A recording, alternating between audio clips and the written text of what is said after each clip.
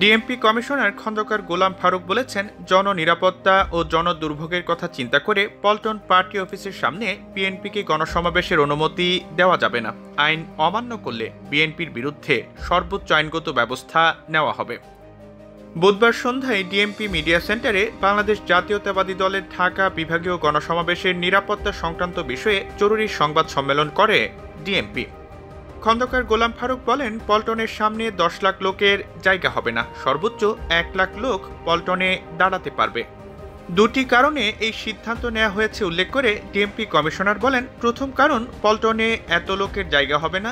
যদি তারপরেও তারা সেখানে সমাবেশ করে, তবে বাকি নয় লাখ লোক ঢাকা শহরে বিভিন্ন জায়গায় ছড়িয়ে ছিটিয়ে যাবে।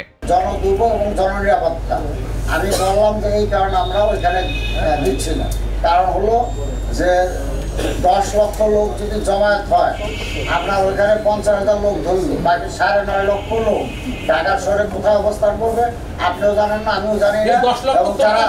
এটা তাদের বক্তব্য। তাদের বক্তব্য তারা সারা বাংলাদেশ থেকে লোক নিয়ে আসতেছে।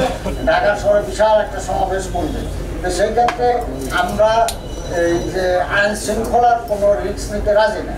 যেখানে জায়গা আছে মাঠ আছে সারা সারা বাংলাদেশে সমাবেশ করছে মাঠে। ওই ঢাকার বাইরে যে সমাবেশগুলো হইল কোনোটাই তো রাস্তার মধ্যে করে না। ঢাকাতে কেন রাস্তায় করতে হবে? সংবাদ সম্মেলনে জানানো হয় যে ডিএমপির সুস্পষ্ট বক্তব্য হচ্ছে সোহরাওয়ার্দী উদ্যানে বা এর মতো কোনো খোলা মাঠে সমাবেশ করতে হবে। জনদুর্ভোগ এবং জননিরাপত্তা বিষয়ে অগ্রাধিকার দিয়ে এই সিদ্ধান্ত নিয়েছে ডিএমপি।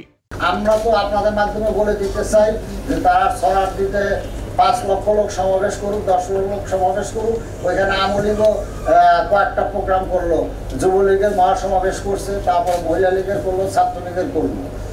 ইতিপূর্বে ওইখানে বিএনপি সমাবেশ করছে। এখন বিএনপি সমাবেশ করুন নিরাপত্তা দায়িত্ব আমার।